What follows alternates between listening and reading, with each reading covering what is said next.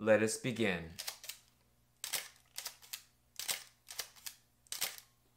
Hello everyone, my name is Take Kayo and welcome to BHC Studios. Today I'll be talking about my three favorite bags that I used in 2020.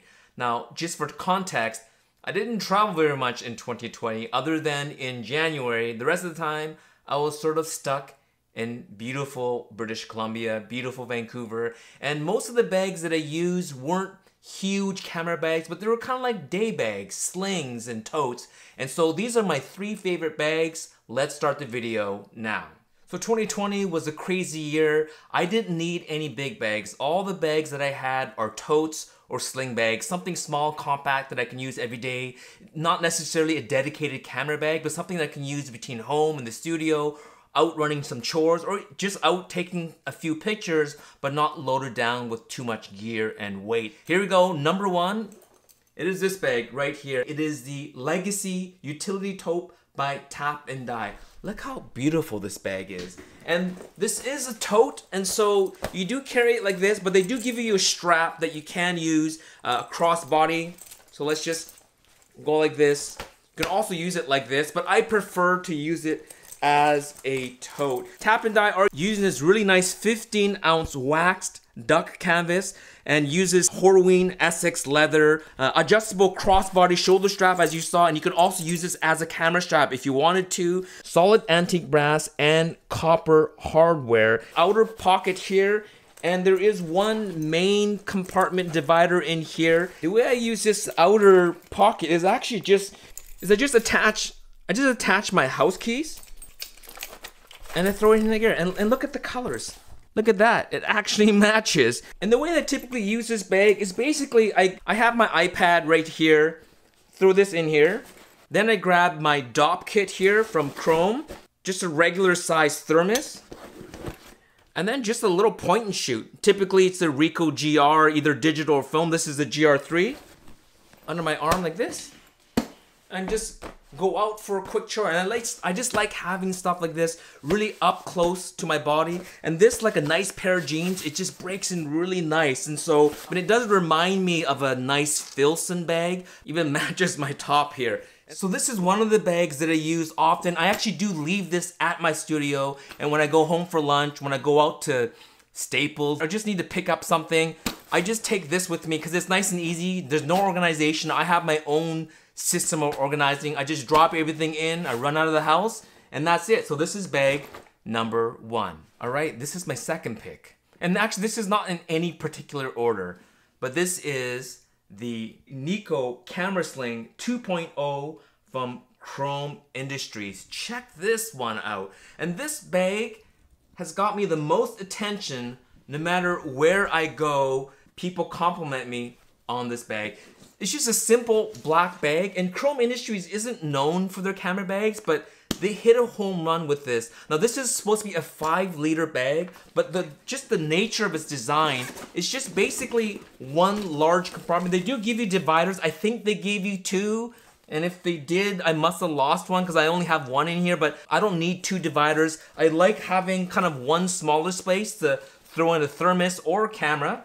One little film camera in here, Right here is the uh, XH1 with a 70 to 300. Easily fits inside here. So if you're gonna use this primarily as a camera bag, it's a little big bag. The uh, strap system is okay. You can unbuckle it here if you want. And if you need access, and then once you have it up like this, you just grab this and pull, and it's nice and tight. Nice and tight and you have it on your back like this, and then when you need it, you just swing it forward here, and then you can open it up, grab your camera. Now, when I was in Hong Kong, there was a fella that had his Hasselblad 501 with the 80 mil in here. So it's definitely big enough to hold something like that, but that's not how I use it. Again, I'll throw in a DOP kit, and my and my iPad will fit in here, but it's tight. Meaning I'll have to kind of let go of one of the sides of the Velcro. So you can see it does fit in here like this, but it's a little tight. And then just one camera. Like something right here is the uh, XS10 and just a prime lens. And that'll fit inside here, like that. And then you just close it up. And I do like the strap system here. So you can put a tripod or a jacket and this does you can let this go, open this up, and in here, you could put something else, something that you want nice and secure. You close this up. You have extra little things that you can hang off the sides here. So if you do want to put your wallet or something in here, I always love a quick access to the back here. Have these kind of like these little wings here so it, it, it curves around your body nicely. It uses a, a tough tarp outer shell with a, a nice soft interior so it doesn't scratch anything.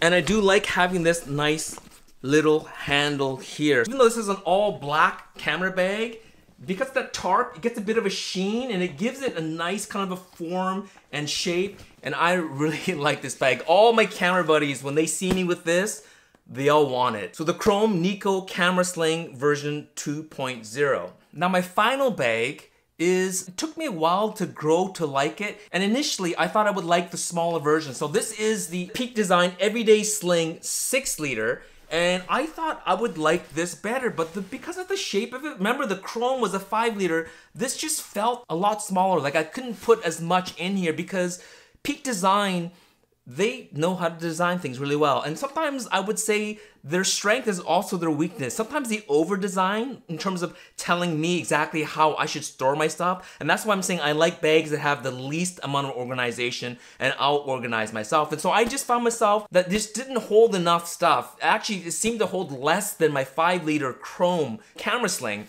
And so I asked for this big boy. This is the Everyday Sling 10 liter. And the first thing is I wanted black because I thought black would make this bag seem smaller. And it does seem smaller when it is all black. But the out of all three of the bags, this is probably the most premium and tech feeling. And uh, at first, I didn't like it. At first, I felt it was too big for what it was. But first of all, the feel, this 400D shell keeps everything waterproof. And I do like the contrasting color, unlike the chrome Every bag company should do this. If you have a black bag or whatever the color is on the outside, the inside should be a nice bright color so you can see inside. They have these origami type uh, dividers. They give you two. Again, like I said, I don't think I need two of them because I want one big open space.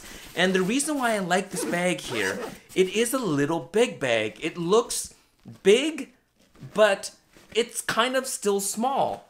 You can use this bag as a sling, but if you need to use it as a big bag, you can. So I'm gonna show you how much stuff I can put inside this. All right, so check this out.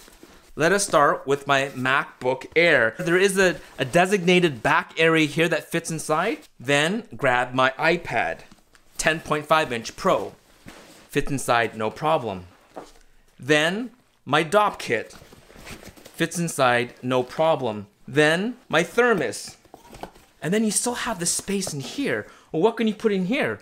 Well, you can put a camera at the very top half. You can fit a camera inside here. Now, of course, you can divide this up anyway. You can put much larger cameras in here, but again, this is not so much a camera bag for me as much as a EDC bag going home, going out doing chores. You can fit that inside here, and you could still fit inside a Ricoh GR3 and they do have this little upper little zipper area here and they give you these these compression straps that they have these little points here here eh, four points as well as two more up here. So you can attach a tripod in the bottom or you can attach different things on here. But look all the stuff I have in here closes up. Look at that. And you still have this outer section here you can put in your wallet and things like that. I wish that they had another little zipper in the back, even if it was a quick access into the main compartment. A nice little handle here that you can hold like this.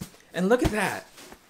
So I was able to fit my MacBook Pro, my iPad, DOP kit, thermos, and two cameras all inside this sling bag. So like I said, this is like a little big bag. If I need this to be a big bag, I can do it. I can throw in all this stuff and basically have all my main gear, my necessary gear. And when I start flying, I, this will probably be my personal carry-on as well as my backpack because of how much stuff I can fit in here. I would recommend getting the black one because black makes the bag look smaller than it really is, but this bag is so awesome that when I do need to go and have a, a, quick meeting with someone and I want to bring my MacBook, I want to bring my iPad, I want to bring a camera, whatever else you want to bring, it'll fit inside. And all this inside a 10 liter bag, it almost seems like it's a 15 liter bag. So those are my three favorite bags for 2020. All three of these bags I love using. As you can tell, all three of them are quite different from each other. Hence, whenever I need to use one bag over the other, it was very clear what bag was good for what. So this is kind of when I'm out with camera girl, if I need something quick and easy and I just don't want to zip and unzip, this utility tote. If I want something nice and compact and tight, if I was just focused on shooting and taking pictures, this is the right bag for me. And finally, if I want a little big bag, I take this everyday sling. Like I said, I thought I would like the six liter, it just wasn't big enough for me. It was a little bit too much overly designed. And this is just a scaled up version of the six liter. So this here, when you need the extra compartments, you need the extra storage, and you need the extra organization, this bag has the ability and the flexibility to convert into whatever you need it to do. And so thank you so much for watching this video. Let me know down below what bags you used in 2020 or looking forward to use in 2021. And let me know what bags you think I should be reviewing. I think Moment has some pretty cool sling bags as well, so I'd love to check those out. And so that's it. Thanks so much for watching. Don't forget to subscribe, tell your friends, and we'll talk to you soon. Happy shooting.